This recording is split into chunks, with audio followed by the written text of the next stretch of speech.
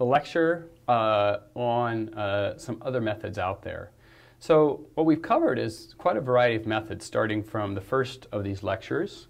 Uh, we started uh, thinking about uh, a couple of the very important algorithms out there, k-means. That was one that we executed and we could use very nicely. It's an unsupervised algorithm uh, that's very nice to think about.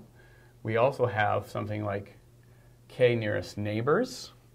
So k nearest neighbors is one of those algorithms that, again, very simple. These were just based upon distances between points, uh, and that was a very nice uh, thing about them, very simple to implement. We moved on. We started talking about the mixture models, in particular, Gaussian mixture models. That was one that, again, another unsupervised algorithm that was, is, is highly effective and used uh, quite commonly. We did linear discriminants. So this is the idea of taking some kind of projection, drawing a separation line between that data. There was naive Bayes.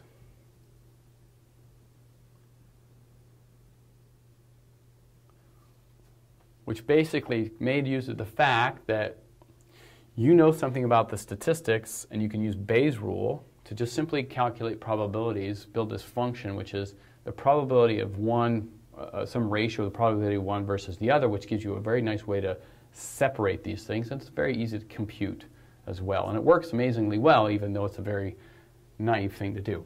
Okay? Um, and in the last lecture, we talked about what I think probably are the most important uh, one, or just, just earlier in this lecture, with support vector machines, as well as classification and regression trees. Okay? So there's seven data algorithms out there that you can use to do this data analysis. Almost all of these are supervised, and let me put a star on those that are, are unsuper five. So I better not put unsuper because you might think that means something. K-means is unsupervised. Gaussian mixtures are unsupervised. The rest of these are basically supervised algorithms. I'll mention three others that are important to think about because they actually uh, recently have been identified as one of the, the other uh, three top 10 algorithms out there. Actually, linear discriminant is not one of the top 10 algorithms. I put it up here because we covered it. Uh, but instead of CART, there's also this method called C, C45, which is a really weird name for an algorithm. But it's kind of some version of a decision tree. So I'll just put that there. So these are really two separate algorithms that would make up the top 10. But I'll mention some of the other ones. One of them you know, you've heard of. It's called PageRank. So PageRank, you know, or you've probably heard of due to Google. So uh, basically, uh, Larry Page, Sergey Brin came up with this algorithm in the late 90s about how to uh, rank web pages. And basically, they looked at the number of connections into a web page and sort of gave it a ranking based upon that, how many web pages point to another. There have been a lot of innovations around PageRank and how to do it even better and how to get a better page ranking algorithm. So the Google one is proprietary, although people know what they did in the first versions of this thing. Because it's actually actually public work, but now uh, who knows what Google is actually doing, but it's some form of page rank with some bells and whistles. Okay? Uh, the other ones are boosting algorithms, in particular what's called AdaBoost. What boosting algorithms do is very much like trees. You can just start drawing decision lines, and for the ones you got wrong, so if you draw a space with points and you say, I'll just draw a separation between points, how many got right, how many got wrong, I boost the weight now of the ones I got wrong because in my next cut, I would like to try to get those right. So I'm going to weight them more highly than the others. And what it allows me to drew, draw is basically uh, nonlinear uh, uh, classification or separation spaces, okay?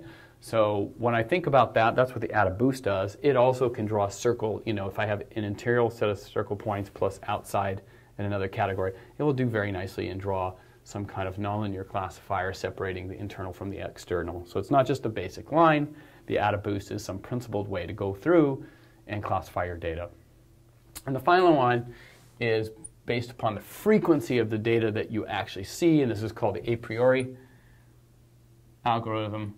And again, we will not we didn't talk about these three uh, in this class, but this one here, again, takes the approach of when I look at data sets and I see data that's very frequent, I want to take advantage of that. And I want to sort of start thinking about building clustering around data that I see frequently. And that's something that the a priori algorithm starts to make use of. All these build into MATLAB. All these extremely simple to use. I gave you code for all the stuff that we did here. And you saw that it's like two or three lines. The decision tree is a little bit more interesting. Takes a little bit more effort to manipulate and translate to what it actually could mean for you. But everything else is two lines. In some cases, one. You simply put your training set and labels on it. It comes back with an object, which now you can put new data through to do the classification. Simple to use. Uh, it's at your fingertips. Okay. Now, I want to make this last comment.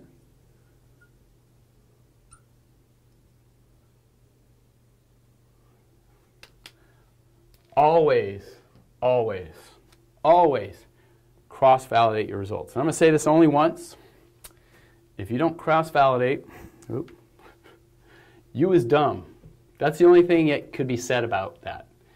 Cross-validation. You saw in almost everything we did that if we ran it again, it gave very different results.